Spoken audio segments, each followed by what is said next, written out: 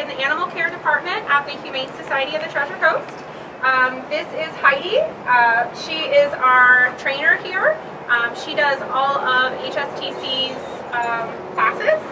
She does Puppy Star, Basic Obedience, Advanced Obedience, Pet Therapy, Trick Class, Noseworks. I know I'm forgetting some.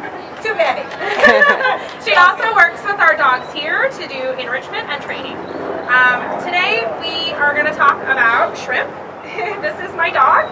Um, she is adopted from the Humane Society here. Um, Shrimp was born in a foster home, my foster home. Um, her mom showed up uh, at the Humane Society night drop boxes. Someone found her as a stray and she was heavily pregnant. So after waiting her stray period, um, and no one coming to look for her, I took her home and a couple days later she had nine babies. Shrimp was one of her babies. Um, Shrimp was the that's why her name is Shrimp. Um, up until about a month old, she was half the size as her siblings. Um, so she got extra feedings um, and just a little bit extra mommy time. Um, and as you can see, she turned into a big old 75 pound dog, so she's just fine. It worked out great. It was important to us for uh, to get Shrimp uh, well socialized. We knew she was going to be a big dog. We wanted her to be a good ambassador for her breed. Um, so from very early on, we got Shrimp into Heidi's classes. I think we got in a little early at two and a half months. and we got her into puppy classes, and she loved them. And we did puppy class after puppy class and moved into basic obedience. Um, she loved class, she loves Heidi, but she was um, exhibiting some fearful behaviors during adolescence.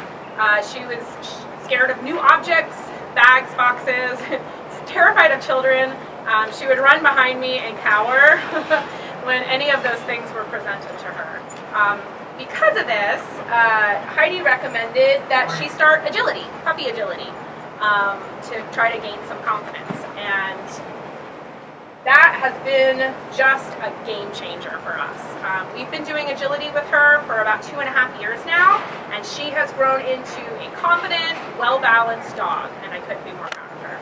Uh, we're going to show you some of the agility work that she's been doing. She's had a little time off due to quarantine, but we're going to get back into the swing of things soon, and we're going to show you some of the agility work that she's been doing.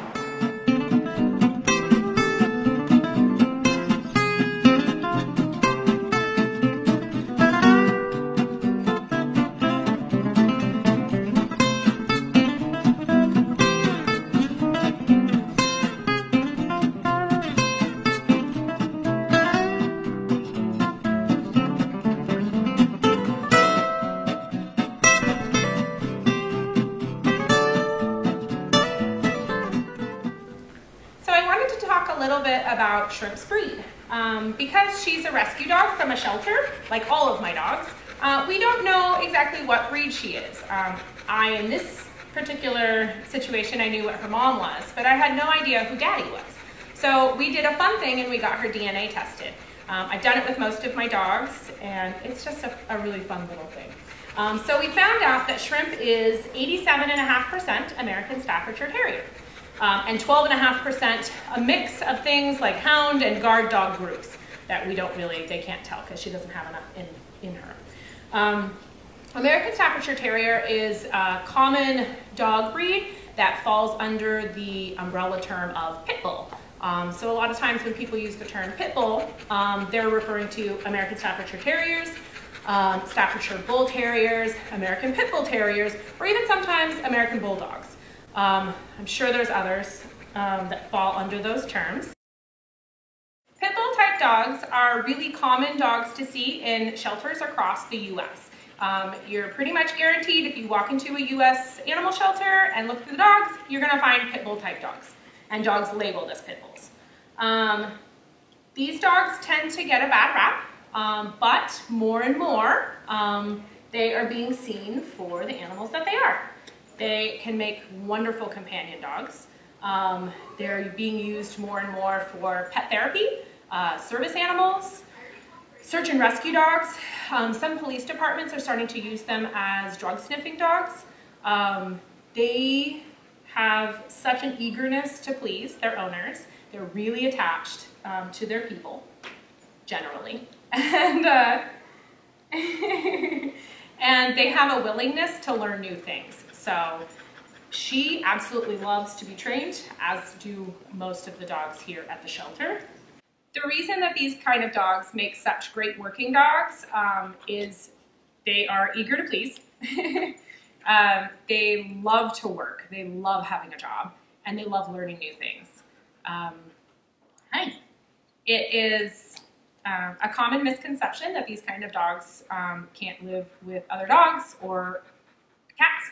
Um, and while that may be the case for individuals, because every dog is an individual, um, that's not the case in the whole breed. Um, so there's plenty of pit bulls that make wonderful dog companions and cat companions. Um, Shrimp here has helped me socialize semi-feral puppies, um, and she's also helped me socialize countless orphaned kittens.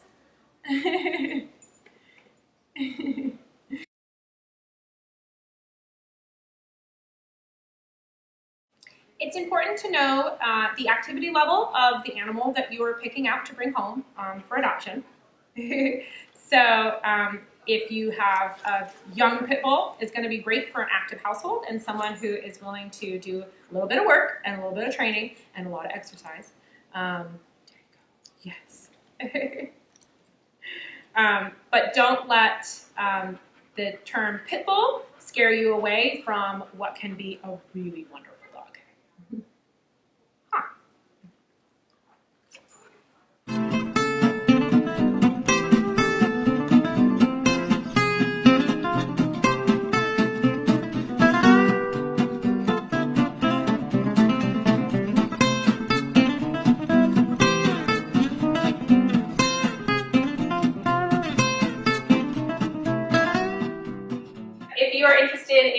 your puppy into puppy classes or your adult into basic obedience and then uh, continue on into doing agility here, um, just contact HSTC and we'll have that website on there so you can look at when our classes are going to start again, hopefully soon. Thank you so much for tuning in.